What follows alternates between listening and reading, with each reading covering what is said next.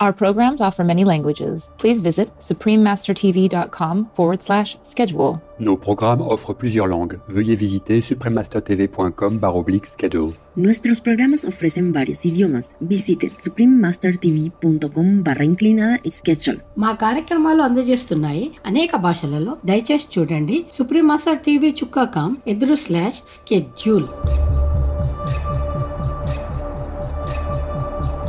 N'arrête pas de parler aux gens euh, avec des scénarios à 2035 et à 2050. Mais ce qui se passe sur la planète depuis 4 ans nous montre que c'est aujourd'hui ce qui se passe. C'est pas demain. Et la fenêtre de tir pour pouvoir réagir est très faible.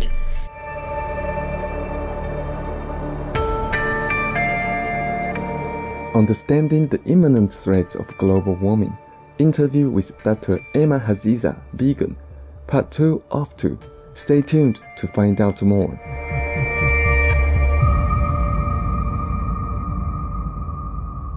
Vegan. Greater Noah's Ark.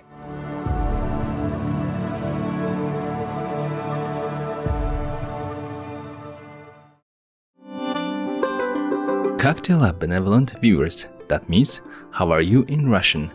One of the official languages of Transnistria, an autonomous region of Moldova. My name is Petru. The optimistic people of Transnistria thank the environmentalists who are raising awareness about global warming and promoting the vegan lifestyle to save our beloved planet.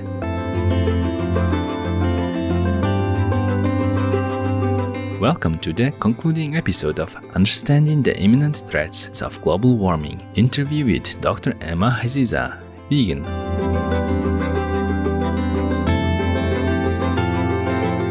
Dr. Emma Haziza is a respected hydrological scientist and the founder and president of Maine, a research center that assesses the water related risks of climate change and develops strategies for mitigation. On today's program, Dr. Haziza shares further insights about the dire consequences of global warming. In media reports about weather related disasters, the financial and economic tolls are often discussed. However, Dr. Haziza says that another immense cost is seldom considered. Il y a, il y a quelques jours une étude est sortie sur le coût euh, des, euh, des canicules entre 2015 et 2020. On serait euh, de mémoire entre 25 et 37 milliards d'euros de dommages sur la santé, sur les hospitalisations, sur les suivis à long terme, euh, sur euh, les conséquences, toutes ces conséquences médicales, elles ont un coût. C'est pareil pour les inondations. Alors ça, ça a surtout été développé par des chercheurs euh, au, au, au, Québec euh, qui ont vraiment poussé cette question de la santé mentale après les inondations. On se rend compte qu'il y a énormément de fausses couches, euh, de, de bébés prématurés après une inondation. On a des gens traumatisés, on a des augmentations d'antidépresseurs. Et donc, si on ne fait pas le lien aujourd'hui entre la question de la santé mentale et la question de ces extrêmes climatiques, c'est nous, à la fin, qui va payer le prix.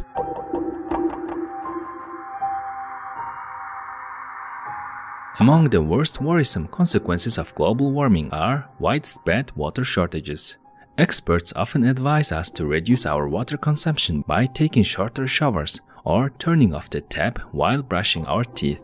Emma shares her thoughts on these recommendations. Donc effectivement, il faut arrêter de faire un focus sur les gens qui prennent un bain ou sur les gens qui prennent une douche, parce que le problème est absolument pas là. Euh, ce sont des quantités énormes d'eau que l'on a besoin pour s'habiller. Euh, ce sont des quantités colossales d'eau que l'on a besoin pour fabriquer notre voiture, pour extraire notre pétrole, pour extraire notre gaz, pour euh, fabriquer de l'énergie, euh, pour manger. Donc en fait, vous consommez à peu près entre 5000 et 7000 litres d'eau par jour en moyenne. Dans toute cette eau cachée, dans toute cette eau virtuelle. Et c'était très facile de rejeter d'ailleurs la faute sur les populations. Vous n'avez pas compris le changement climatique, vous n'agissez pas, vous n'êtes pas assez écolo, etc. Mais qui exploite tout ça? Est-ce que ce sont les gens qui rentrent chez eux et qui ont juste besoin d'aller faire leurs courses? Moi, je pose la question.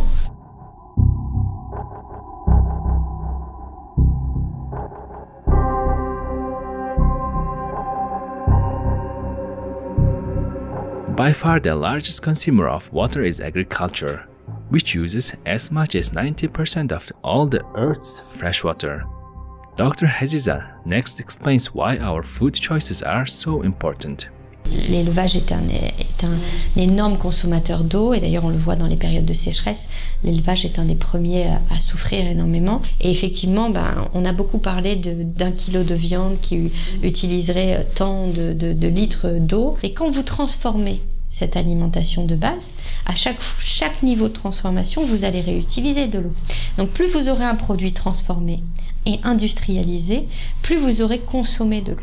C'est de l'eau que l'on appelle de l'eau virtuelle, c'est de l'eau qu'on ne voit pas. Vous, vous allez manger votre hamburger, vous n'avez pas l'impression d'avoir consommé 3000 euh, litres d'eau en mangeant votre hamburger, parce que vous n'avez pas conscience de toute la chaîne et de tout ce qui s'est produit derrière.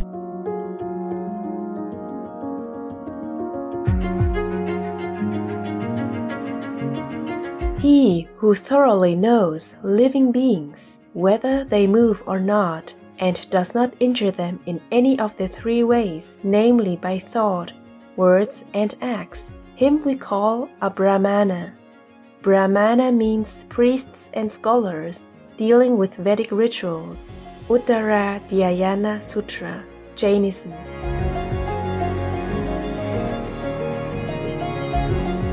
We'll take a moment now to thank the Divine for the ever growing number of delicious plant based alternatives that make it very easy to switch to the vegan lifestyle.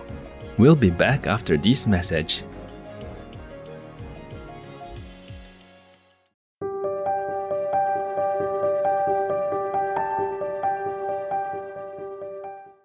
Charitable viewers, welcome back to our show, Understanding the Imminent Threats of Global Warming interview with Dr. Emma Haziza, part 2 of 2. Dr. Haziza next explains that water shortages have many disastrous consequences. Derrière, ce qui se passe, c'est planétaire. C'est-à-dire que c'est des gens qu'on ne va plus nourrir. C'est des systèmes, euh, énergétiques qui ne fonctionneront plus. Donc euh, c'est des villes qui risqueront de passer, comme ce qui s'est passé en Afrique du Sud à Cape Town il y a quelques années, à la limite du point zéro, où en fait il n'y avait plus d'alimentation en eau potable dans la ville. Potentiel, on est passé à ça. donc eux ont mis en place des situations, des, des solutions drastiques pour chercher justement à protéger cette ressource en eau. Parce que tant qu'on ne comprend pas notre vulnérabilité, on continue à foncer.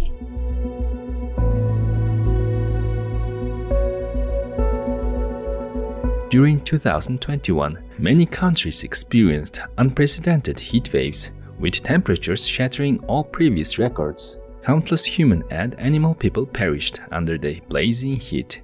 Dr. Says we must be deeply concerned about rising temperatures. Cette température, une fois qu'elle dépasse un certain niveau, en fait, elle ne permet pas à l'organisme de continuer à vivre. Parce que la température extérieure, est telle qu'elle va empêcher, elle va freiner les phénomènes d'exudation du corps naturel, durée naturelle du corps. Donc le, corps ne pouvant plus se thermoréguler, la personne peut mourir en 2 à 3 heures. Donc ça, c'est quelque chose qui paraissait euh, extrême, qu'on pouvait imaginer en allant sur une autre planète, mais pas sur Terre. Et effectivement, on a atteint dans deux endroits dans le monde, il y a deux ans, cette température. Donc c'était au Pakistan et euh, en Inde. Et puis l'année dernière, à nouveau, d'autres points ont été relevés. Et donc on est en train de comprendre, ce sont des petits signaux faibles qui nous montrent que demain, il y aura des endroits qui ne seront plus habitables sur la planète. Parce que l'être humain ne pourra plus s'autoréguler, à moins de venir avec des costumes de, de spationautes. Quoi.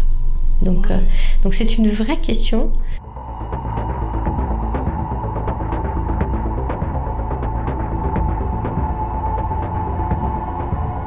In its 2021 report, the Intergovernmental Panel on Climate Change, or IPCC, stated that our world is rapidly approaching a life threatening temperature rise of 1.5 degrees Celsius.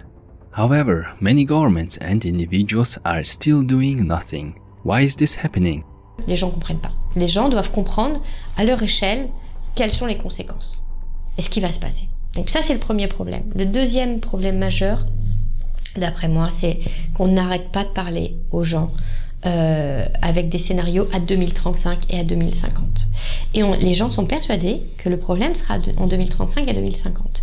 Mais ce qui se passe sur la planète depuis 4 ans, ce système qui s'emballe, nous montre que c'est aujourd'hui ce qui se passe. C'est pas demain. Et, et la fenêtre de tir pour pouvoir réagir, elle est très faible. On n'a que quelques années devant nous et donc il va falloir recréer un nouveau monde. Et là se pose la, question de qui va le recréer. Est-ce que ce sont les politiques qui sauront prendre ces décisions? Est-ce que ce seront les individus?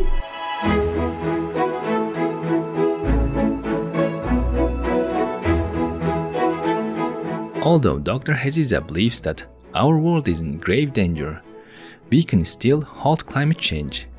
The solution lies right in front of us. La biodiversité se ch- chute dans le monde entier.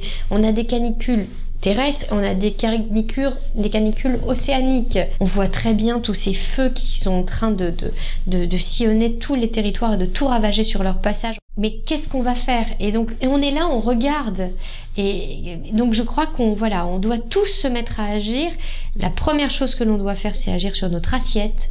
On doit réapprendre à manger le plus sainement possible avec euh, des fruits et des légumes, le moins, euh, le, moins atteint possible par l'environnement, parce que là, on va avoir un impact colossal par nos modes de consommation. C'est un acte militant en soi, la manière dont on va manger.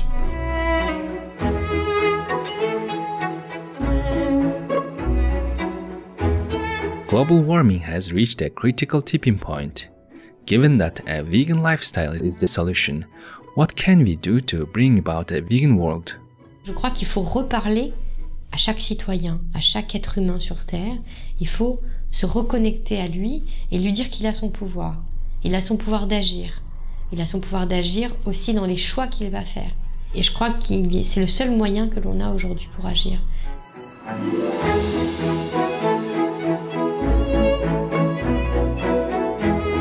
Many thanks, Dr. Emma Haziza, for sharing your insights on the alarming urgency of climate change and its solution adoption of the plant based lifestyle.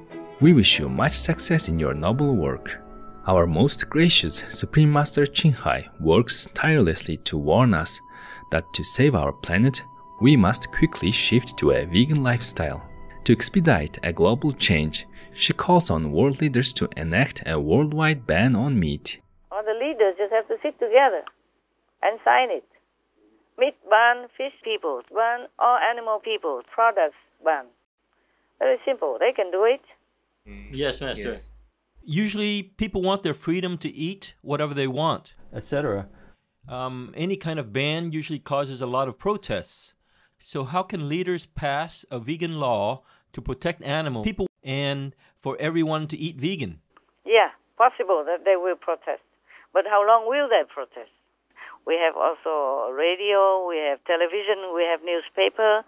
We can explain to people through all these means of communication. We are in the 21st century. Yes. Many countries already have animal people laws to protect animal people. They have the law already. They just have to act on it. All you have to do is to change all these slaughterhouses, abattoirs into vegan farms, Oh, yes, yes. vegetable farms. Yes, Okay, organic farms are better. All information concerning the scientific evidence of climate change and its solution is in Supreme Master Qinghai's book, From Crisis to Peace. The Organic Vegan Way is the answer. Free to download at crisis2peace.org.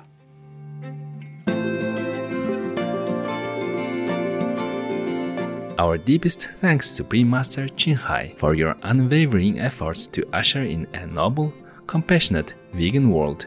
We pray that global leaders will quickly heed your words and that we will soon enjoy a peaceful, safe, and harmonious planet Earth. For more information about Dr. Emma Haziza and the Maine Research Center, please visit maine.eu.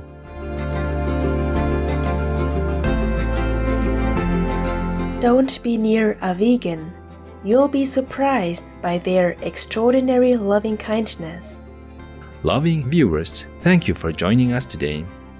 Please stay tuned to Supreme Master Television for Positive Changes in Countries, Part 35 of a multi part series Transforming Governments, Transforming Citizens, Lesotho, Liberia, Libya.